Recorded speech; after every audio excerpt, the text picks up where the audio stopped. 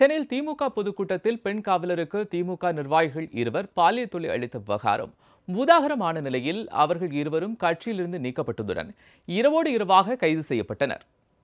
சென்னை விருகம்பாக்கத்தில் கடந்த முப்பத்தி ஒன்றாம் தேதி திமுக சார்பில் பொதுக்கூட்டம் நடைபெற்றது.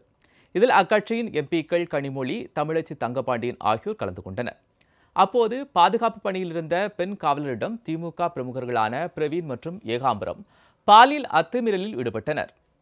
திமுக பிரமுகர்களின் பாலியல் அத்துமீறலால் கதறி அழுத பெண் காவலரின் நிலையைக் கண்டு சக போலீசார். திமுக நிர்வாகிகள் இருவரையும் காவல் நிலையத்திற்கு கொண்டு செல்ல ஜீப்பில் ஏற்றினர்.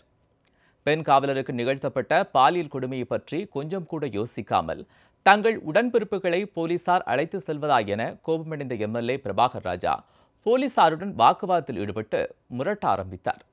இதையடுத்து அழுத்தம் காரணமாக இருவரையும் ஜீப்பிலிருந்து இறக்கிவிட்டு சென்றனர். இது தொடர்பாக நமது ஜியாப்ளஸ் தொலைக்காட்சியில் செய்தி ஒளிபரப்பானது.